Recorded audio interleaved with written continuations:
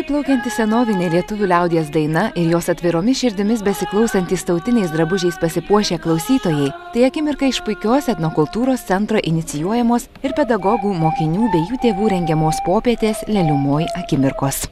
Šis gražus renginys Vilniaus taikos progymnazijoje jau tampa gražia pasirengimo prieš kalėdiniam advento laikotarpiui tradicija. Projektas Leliumoj yra mokyklai tradicinis.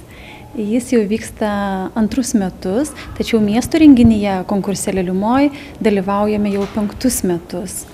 E, šis renginys apjungia tris e, sritis - muzikinį, muzikinį folklorą, tautosaką ir tautodailę. Tiesa, šioje mokykloje etninės kultūros ugdymas nesibaigia matomų renginių. Mokiniams čia sudaromos visos sąlygos įgyti etninės kultūros pagrindų, liaudės kūrybos gebėjimų, integravus juos į mokomuosius dalykus, kartu su mokytojais lankant parodas, muziejus, koncertus, kartu dalyvaujant įvairiose edukacinėse veiklose ir miesto mastu rengiamuose projektuose. Ar įdomu dalyvauti tokiame projekte? Nu, labai įdomu. Tik sunku labai sukurti viską. Šiemet šį projektą integravome į dar du didesnius projektus. Tai projektą Visa Lietuva skaito vaikams ir projektą T klasė. Dalyvaujant, projek vykdant projektą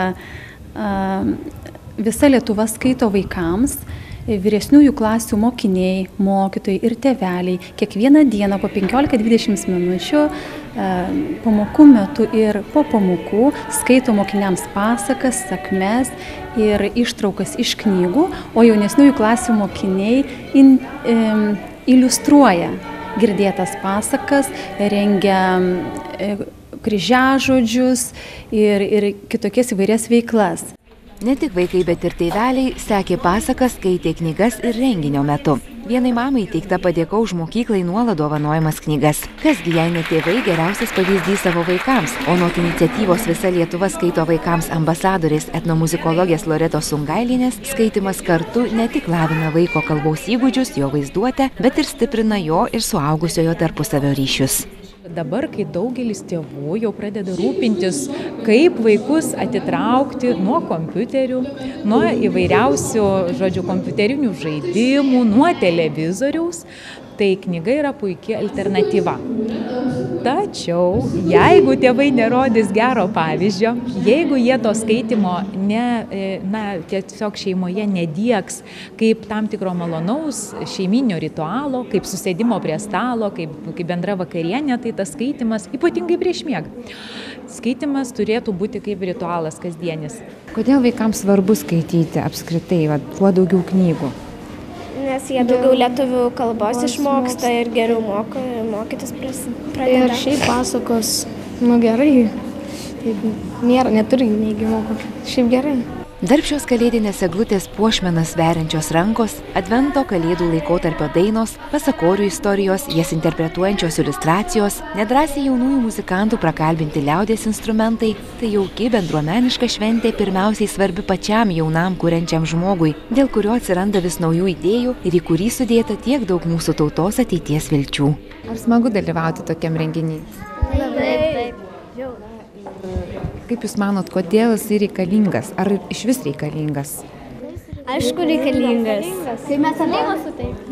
Ir prisimintume, nu, senovę kaip ir pagerbtume protėvius, prosenelius. Tai yra svarbu Jums, ar ne? Taip, taip, labai svarbu. Nu, nes, nu, atsiname, atsiminame savo prosenelius, kaip buvo senovės, žinome daug ko naujo, sakmių daug naujų. Tai gana retas instrumentas ir kaip tau patinka? Man patinka šiaip, nu, jis labai toks kaip man bent jau švelnus ir, nu, nežinau, labai man jis mielas toks kaip ir re, retas dėl to ir gal jį ir pasirinkau. Nuo iš šio gausaus būrio išrinkti geriausi mokyklos pasakotojai, dainininkai bei kalėdinės eglės žaisliukų kūrėjai jau lapkričio 30-ąją keliaus į tradicinį etnologijos centro miesto mastu rengiamą Leliumoj konkursą, kuriame savo gebėjimus atskleis dar daugiau įvairių sostinės mokyklų moksleivių, puikiai suvokiančių tautinio savitumo svarbą. Tiesa, šiandien dažnai nuskambant nuogastavimui, jog tik senoji karta puoselėje etninės vertybės, klausiama, nuo kogi priklauso, kad mūsų tradicinis kultūrinis paveldas nebūtų primestas, o taptų jaunosios kartos savastimi. Nuo tokių įstaigų priklauso kaip mūsų e, etninės kultūros centras, nuo mokyklų be abejo, nuo pedagogų.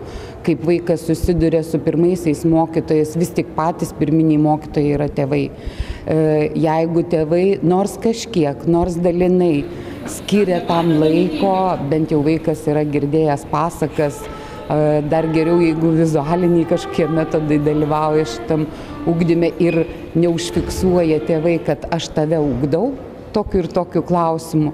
Tai be abejo tam vaikui tampa įprasta, jis pats ieškos knygų, jis pats ieškos galbūt kompaktinių plokštelių ar vaizdo kažkokių tai įrašų.